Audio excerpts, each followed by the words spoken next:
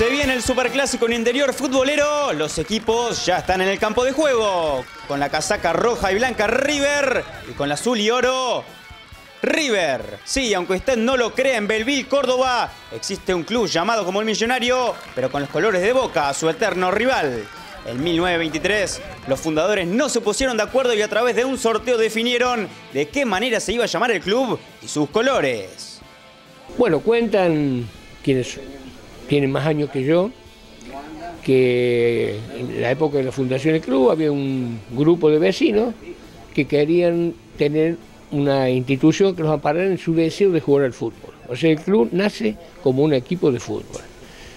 Empezaron las discusiones, el nombre, qué nombre ponemos, ponemos, hubo varias posibilidades, entre una de las cuales se menciona ponerle River y otro ponerle Boca. De hecho, eso trajo también una disputa verbal, si se quiere, y luego de mucho discutir, se ponen de acuerdo y llegan a esta posibilidad de sortear el nombre y los colores pero invertido. O sea, se sorteaba el nombre, si salía River iba a llevar los colores de Boca.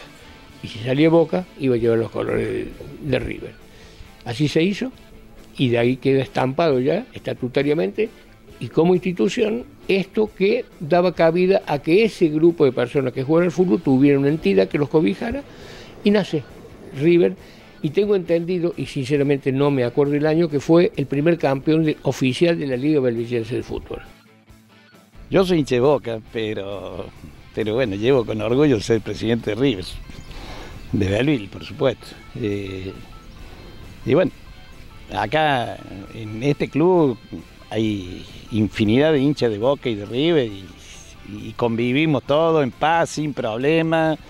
Eh, la cargada natural después de un clásico y nada más. nunca, jamás que yo me haya enterado, ya hace como 30 años que estoy en el club, de que haya habido un problema por la causa de Boca o de River. ¿En dónde jugás?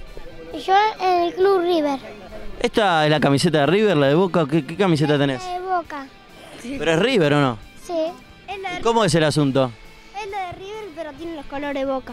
¿Y qué piensan ustedes de eso? Muy raro. Que los que lo crearon eran uno de River y uno de Boca. Cuando nos vienen a visitar delegaciones de otros lugares, casi que no lo pueden creer.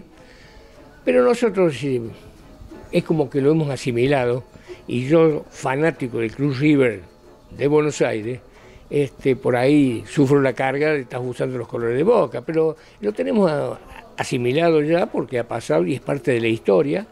Estatutariamente no se pueden cambiar los colores, ha habido algunos intentos, creo que el presidente lo explicó, inclusive algunos socios un poco en broma, poco a lo mejor tirando la posibilidad que fuera cierto de querer ir cambiando colores, cosa que es absolutamente imposible porque sería violar los estatutos de la institución que marca, pero así, taxativamente, que es los colores de boca, el pantalón azul y las medias azul y amarillo. Así que, bueno, es parte de la historia, ¿no? ¿Y futbolísticamente cuál es el presente de River?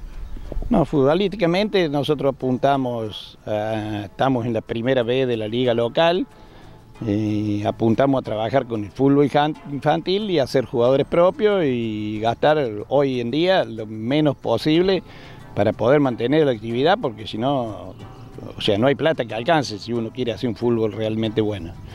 Pero bueno, todos estamos conformes con el fútbol que hacemos, o sea que no, no gastar demasiada plata y, poder mantener la actividad. Pero cuando uno escucha o le cuentan la historia a alguien de lejos, de alguien de Buenos Aires o de cualquier otro lugar, eh, de esta situación?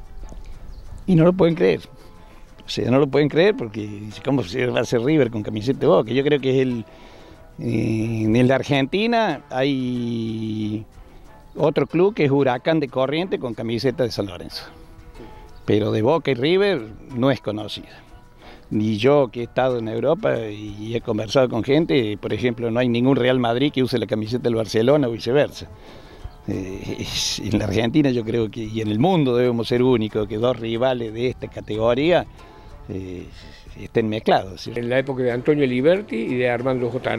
Eh, Armando, el presidente de Alberto J. Armando, este, hubo algunos contactos con la comisión directiva, ellos fundamentalmente, cada cual por su lado, por supuesto, y quizás en distintas épocas o distintos años, ellos aportaban el dinero necesario para cambiar todos los equipos, de ser indumentaria, de todas las actividades deportivas que se desarrollaban en el club. Pero vuelvo a repetir, hay un estatuto que para haber aceptado esa proposición de ambos clubes era necesario cambiar el estatuto, cosa que no va a ocurrir porque el 50% de River, el 50% de Boca. Así que evidentemente no dieron resultado y se mantiene esta tradición de ver a este River con colores de Boca. Estuvo en Yelis y, casi que ni entra al club porque dijo, no, se llama River. A pesar de los colores, se llama River.